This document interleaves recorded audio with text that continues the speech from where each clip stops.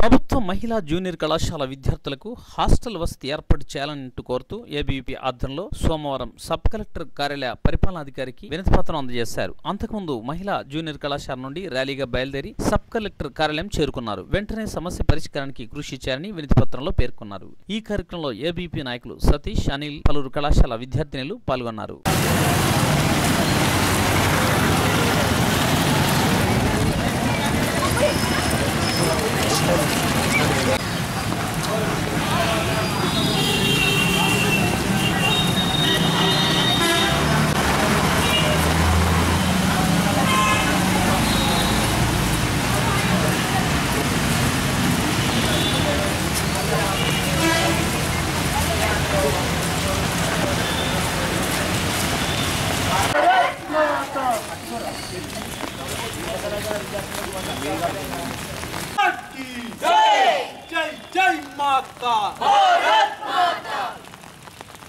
ప్రభుత్వ నిర్లక్ష్య వైఖరి ప్రభుత్వ నిర్లక్ష్య వైఖరి.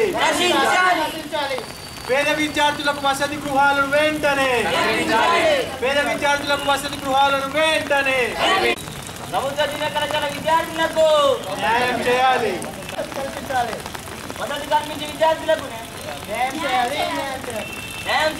న్యాయం చేయాలి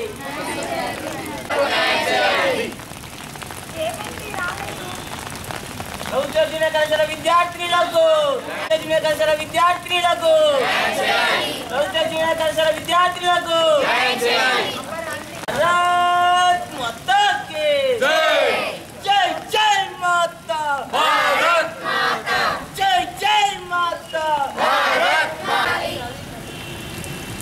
స్పందించిన అధికారులను వెంటనే! స్పందించని అధికారులను వెంటనే! స్పందించిన కళాశాల విద్యార్థులకు వెంటనే! Student power! వసతి గృహం వెంటనే! స్పందించిన కళాశాల విద్యార్థులకు వసతి గృహం వెంటనే విద్యార్థి శక్తి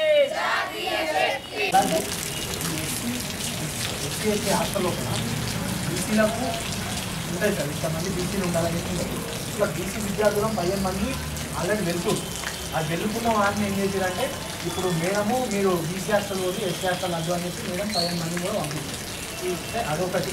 ప్లస్ అలాగే ఈ మిగతా ఎనభై మంది విద్యార్థులు ఉన్నారు సార్. వాళ్ళకు కూడా వసతి గృహం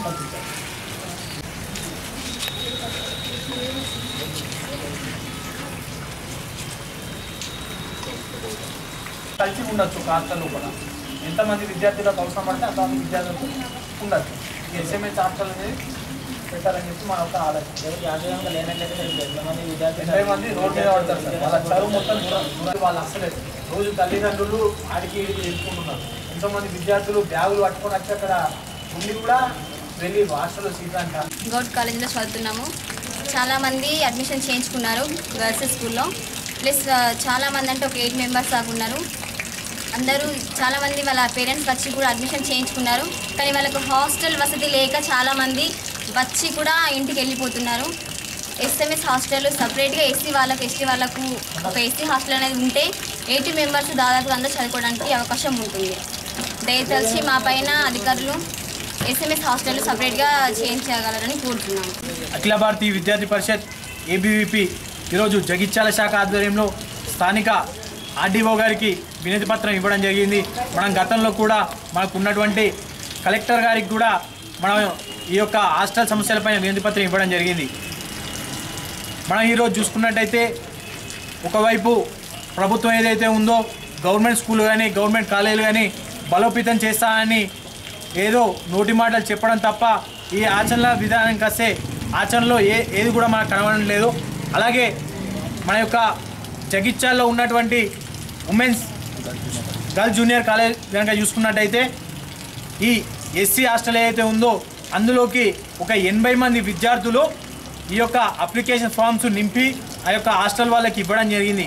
అయినా కానీ ఈ యొక్క అధికారులు నిర్లక్ష్యం వల్ల ఈ యొక్క విద్యార్థులు ఆ అడ్మిషన్లు ఇవ్వడం లేదు. అలాగే ఈ యొక్క అధికారులు ఎవరైతే ఉన్నారో ఆ అధికారులకు కూడా విద్యార్థి పరిషత్ నుండి ఆ యొక్క సోషల్ వెల్ఫేర్ ఆఫీసర్లకు కూడా తెలియజేయడం జరిగింది. తెలియజేసిన అని వాళ్ళ యొక్క స్పందన ఎలా చీమ కుట్టినట్టు కూడా వాళ్ళకు లేదు. ఎలాంటి స్పందన కూడా లేదు.